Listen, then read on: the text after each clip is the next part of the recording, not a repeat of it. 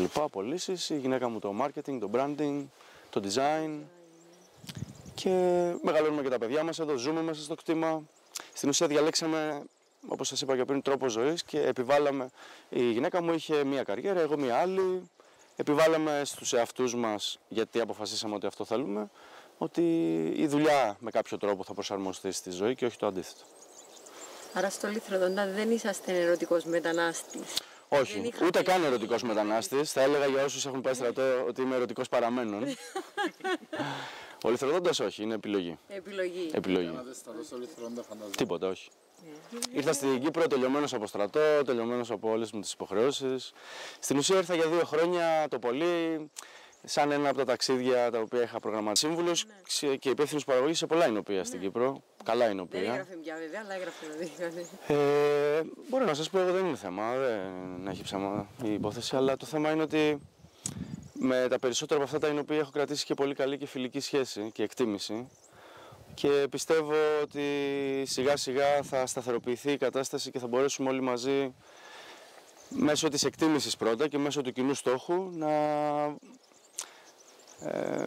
βρούμε μια ας πούμε κοινή στρατηγική για το κυπριακό κρασί. Κοιτάξτε να δείτε, όσο καλά κρα- κρασιά και να κάνω εγώ ή ο Ζαμπάρτας ή ο Τσιάκας ή όποιον καλό είναι οποίο και να ονοματίσω αυτή τη στιγμή, όσο καλά κρασιά και να κάνει, δεν μπορεί να δημιουργήσει όνομα στο εξωτερικό. Πρέπει πρώτα να δημιουργηθεί σαν όνομα ο τόπος. Και να πούμε ότι η Κύπρος κάνει καλά κρασιά. Και ε, όταν λοιπόν κάποιος γυρίσει το βλέμμα του και κοιτάξει τον Κυπριακό αμπελώνα και αρχίσει να δοκιμάζει, ε, τους καλούς είναι που θα βρει πρώτους. Άρα και αυτούς που θεωρούμε ότι είναι καλοί. Θα σας πω κάτι. Δεν ήταν έτσι όταν ήρθα στην Κύπρο το 7 και μέχρι πολύ πρόσφατα. Ε, υπήρχε πολύ ξενομανία και πολύ, κατά τη γνώμη μου, λάθος προσανατολισμός. Ενώ ταυτόχρονα εγώ πριν έρθω εδώ, δεν το λέω για να τιμήσω τον εαυτό μου, αλλά αυτούς που θα αναφέρω. Έζησα σαν ε, νεαρός συνολόγος, meetings μεγάλων ονομάτων στην Ελλάδα, δηλαδή Τσέλεπος, Παλιβός και Σιγάλας και Σκούρας, μαζί στο ίδιο τραπέζι και να συζητάνε τι θα κάνουν γιατί ήρθε ο Αμερικάνος και ζήτησε. Α, άρεσαν τα κρασιά, ζήτησε πρώτη παραγγελία ένα εκατομμύριο φιάλες. Αφού εγώ λέω ο Παλιβός κάνω 200, ο Σκούρας 300, ο Σιγάλας 100. Μιλάμε τώρα για εποχή που ήταν γνωστά αυτά τα ονόματα, αλλά δεν είχαν το reputation το σημερινό. Ο Τσάλεπος ήταν σημαντικός παραγωγός, αλλά σήμερα όμως είναι καθεστώς, έτσι, ε, όπως και ο Σκούρας.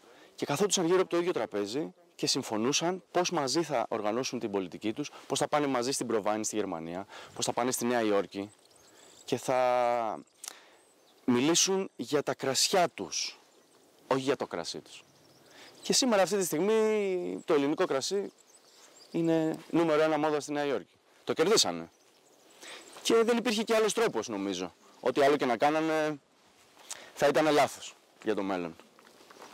Ελάτε όμως να σας καλωσορίσω και στο Ινωπείο. Σε Ινωπείο που δούλεψα στην Ελλάδα και στη Νέα Ζηλανδία, στην ουσία εξειδικεύτηκα στην τεχνολογία του κρασιού και στο πώς δουλεύεις ένα άτομο, πολλά πιεστήρια μαζί και πολλές διατάξεις ε, κλπ. και σύγχρονα μηχανήματα. Ε, όταν αποφάσισα ότι θα κάνω κάτι δικό μου, ήταν ξεκάθαρο μέσα μου ότι δεν με ενδιαφέρει καθόλου να το κάνω με τον τεχνολογικό τρόπο. Ε, μου αρέσει πολύ η ιδέα της ε, ε, δημιουργίας με το χέρι, οπότε διατείνουμε σήμερα ότι τα κρασιά και τα αποστάγματα τα δουλεύω με χέρια και εργαλεία. Το πιο σύγχρονο από τα μηχανήματα που έχω είναι το ψυκτικό που κρατάει σταθερές στις θερμοκρασίες ζύμωσης. Από εκεί και πέρα, αυτές είναι οι πρέσες μου. Είναι για μένα οι πιο ευγενικές πρέσες. Ασκούν πίεση μόνο στην επιφάνεια επαφής και το εσωτερικό είναι πάντοτε πολύ λιγότερο συμπιεσμένο, άρα ε, παίρνεις ε, μικρότερο ποσοστό απόδοσης, αλλά καλύτερης ποιότητας. Ε, αυτός είναι ο άμβικάς μου, με αυτό φτιάχνω τα αποστάγματα. Οι περισσότερες ζυμώσεις, τουλάχιστον για τις κουμανταρίες και κάποια ακόμη, γίνονται μέσα σε ξύλινα βαρέλια. Ε, και ξεκινήσαμε πρόσφατα και καινούρια projects. Καθυστερήσανε χρόνια, αλλά δεν μας άφησαν και οι καιροί. Με κάποιες πειραματικές συνοποιήσεις ξηρών κρασιών, πάντοτε μόνο κυπριακές ποικιλίες. Για την ώρα δουλεύω ξυνιστέρι στα λευκά και μ, ε, μαραθευτικό στα κόκκινα. Ε, μαύρο και ξυνιστέρι, όπως είπαμε, για την κουμανταρία. Ένα συγκεκριμένος αμπελώνας, ανάλογα με τη χρονιά, ό,τι ποσοστό ε, δώσει. Ε, άριστα 10 στο χημικό τους προφίλ. Φτιάχνω κρασιά για να τα ανοίξεις εσύ στο τραπέζι σου, χωρίς αναλυτικά όργανα. Να το δοκιμάσεις και να σου αρέσει. Τι σημαίνει να σου αρέσει, δεν με νοιάζει για το γούστο σου, με νοιάζει να υπάρχουν αυτά τα τρία που σας είπα πριν. Ε, ισορροπία, πολυπλοκότητα και φινέτσα. Αν υπάρχουν αυτά τα τρία, για μένα είναι καλό κρασί. Αυτό όμως δεν το πετυχαίνεις συγκρίνοντας τα περσινά νούμερα των αναλύσεων με τα φετινά και μετά του χρόνου. Γιατί κάθε χρόνο είναι διαφορετική η πρώτη ηλικία κατάσταση. Άρα λοιπόν για μένα πρώτα έρχεται η οργανοληπτική εξέταση και στη συνέχεια η χημική, η ενόργανη, για να επιβεβαίωσει ή να διαψεύσει τα αποτελέσματα της ε, οργανοληπτικής εξέτασης. Άρα λοιπόν ε, δεν έχω στάνταρ πόσα χρόνια πρέπει να μείνει η κουμανταρία στο βαρέλι. Πόσα χρόνια πρέπει να μείνει η ζυβανία στο βαρέλι. Πόσους μήνες πρέπει να μείνει. Το... Δεν υπάρχει αυτό το πράγμα. Κάθε χρόνο είναι διαφορετικό.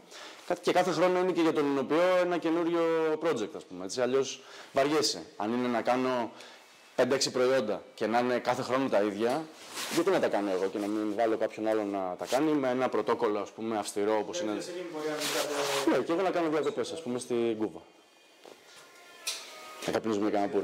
Είναι συγκεκριμένη εδώ, η για τα βαρύδια.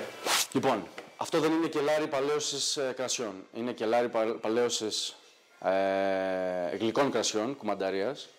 Και οι συνθήκες, κατά τη γνώμη μου πάντοτε, σας λέω είναι η δική μου γνώμη, δεν είμαι ο γκουρού. Αλλά κατά τη δική μου γνώμη, οι τεχνικές που χρησιμοποιούμε στην ε, παλαίωση της κουμανταρίας εκμεταλλεύονται την θερμοκρασία σε κάποιες φάσεις. Γι' αυτό και έχω ε, αυτή την αρχιτεκτονική στο Ινωπείο. Δηλαδή το καλοκαίρι θέλω να αυξήσω τη θερμοκρασία μέσα στο, βαρέλι, μέσα στο κελάρι για να κάνω μαδέριασμα. Παλιότερα που δεν είχα το Ινωπείο έβγαζα τα βαρέλια στον ήλιο για λίγο καιρό. Ε, τώρα προσπαθώ να το κάνω πιο ευγενικά, άρα να μην το χτυπάει ο ήλιος και απλά να μπαίνει μέσα θερμοκρασία. Στην ουσία αυτό τι κάνει, το βαρέλι λειτουργεί σαν ένα οσμοτικό φίλτρο. Αφήνει κάποια πράγματα να βγουν έξω και κάποια πράγματα να μπουν μέσα με σκοπό να φέρει ισορροπία στο μέσα και έξω. Άρα, ελέγχοντας τις συνθήκες απ' έξω, στην ουσία δρομολογείς ποια θα είναι η κατεύθυνση εισαγωγής ή εξαγωγής συστατικών από το βαρέλι. Αυτό είναι το μαδέριασμα. Ε, βοηθάει στη συμπίκνωση, βοηθάει στην ε, πολυπλοκότητα, βοηθάει σε πολλά πράγματα.